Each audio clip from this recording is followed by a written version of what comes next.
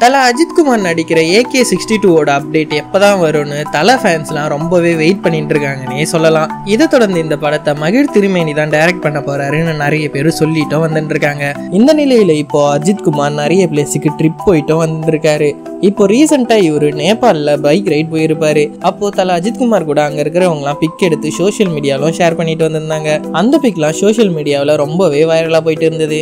இதை தொடர்ந்து இப்போ ஆக்டர் சமுத்திரகனி அவரோட ட்விட்டர் பக்கத்தில் தல அஜித்குமார் அவரோட வண்டியில ரைட் போற மாதிரி ஒரு பிக்கை ஷேர் பண்ணியிருக்காரு. அந்த பிக்குக்கு மேல கேப்ஷனா யாருன்னு தெரியுதா அப்படின்னு கேக்குறா போல போட்டு இருந்தாரு இந்த நிலையில இதை பார்த்த தல ஃபேன்ஸ் எல்லாருமே ஏகே சிக்ஸ்டி டூ அப்டேட் கொடுங்க ஏகே சிக்ஸ்டி டூ அப்டேட் கொடுங்க. இந்த படத்துலயும் நீங்களும் நடிக்கிறீங்களா அப்படின்னு கேட்டுட்டு வந்துட்டு இருக்காங்க. இதை தொடர்ந்து ஏகே சிக்ஸ்டி டூ படத்துல சமுத்திரக்கனியும் ஒரு இம்பார்ட்டன்ட் ரோல் நடிக்கிறாரோ அப்படின்னு ஒரு கேள்வியும் எழுந்துட்டு வந்துட்டு இருக்கு இதுக்கடுத்து பொன்னியின் செல்வன் ரிலீஸ்க்கு அப்புறமா ஏகே சிக்ஸ்டி டூவோட அப்டேட் லைகா ப்ரொடக்ஷன் தருவாங்கன்னு எதிர்பார்ப்போடு தலை ஃபேன்ஸ்லாம் இருந்துட்டு வந்துட்டு இருக்காங்க